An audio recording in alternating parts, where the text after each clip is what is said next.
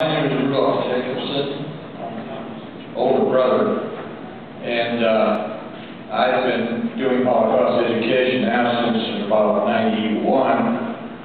And uh, Arnold here pretty well preempted me with everything I wanted to say.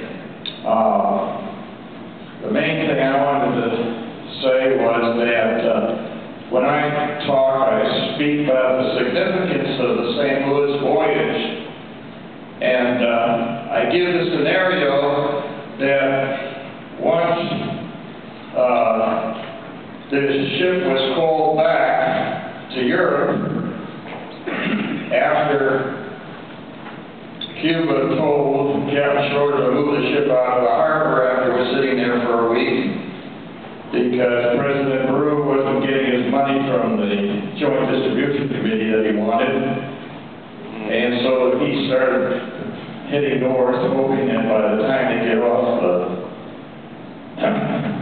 shore of Miami here, that he'd hear from Roosevelt in the United States or Canada, since they sent a second telegram asking for asylum for the Jews, and like Arnold mentioned, we all had visa numbers, or quota numbers for visas, and hopefully by the time we got to Miami, they'd have some kind of positive answer to their request for asylum, which they did, and of course, we know that all they did was send out the, the Coast Guard cutter instead.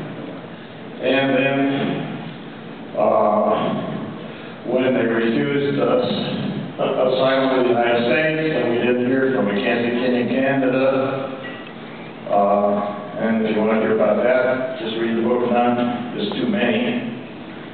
Uh, then Hitler ordered the Hamburg Call back. And I always point out this scenario where Goebbels goes ahead and calls a meeting of the hierarchy of the Nazi party. You have all of them sitting around there. Uh, and he said, gentlemen, we don't want the Jews, and we admit it. And you see, we admit we don't want the Jews, but the Western democracy is nothing but a bunch of hypocrites. The United States doesn't want them, Canada doesn't want them, none of the Western democracies want them, but they won't admit it. So you see, if the rest of the world doesn't want the 900 Jews on the St. Louis, do you think they're going to care what we do with the rest of Europe's Jews? And that gave the Nazis the green light for the final solution. And now I would say, if you don't learn anything else from my presentation this morning, just remember the one thing, that the significance of the St. Louis voyage is that it gave the Nazis the green light for the final solution. And so, as far as the trial that we saw this morning,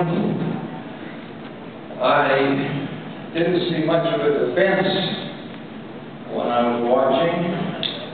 And uh, as far as the uh, all this stuff about bombing of railroad lines and uh, uh, Mr. Karski, the Polish ambassador. Uh, we know that Churchill knew as early as 1943 about the death camps.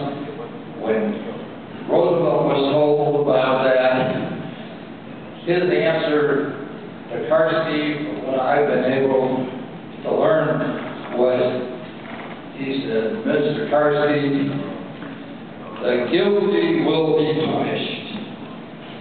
And that's was his answer. So I have to also agree that from what I saw presented this morning that uh, uh, unfortunately Mr. Roosevelt uh, is going to have to be found guilty. And this is just one incident, unfortunately, but we saw this morning.